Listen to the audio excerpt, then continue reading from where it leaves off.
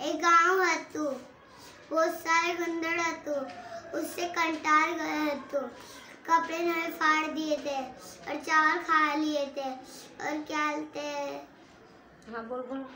राजा के पास गए और राजा बोले हम तो खुद ही कंटाल गए। और बोले पिपड़ी बजाने गए। पिपड़ी बजा रहे थे।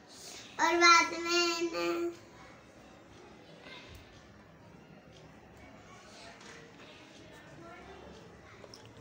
बोल, जो भी आवे हाजरा से बोल, जो भी तुमको आवे पढ़ना बोल।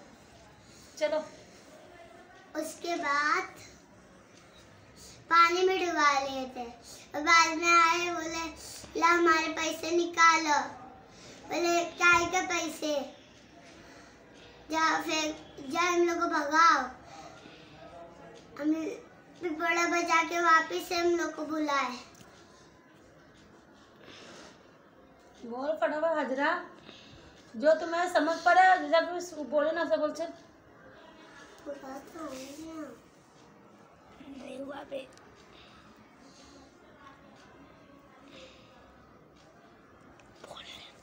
बाद में बोले जाओ भागो निकलो।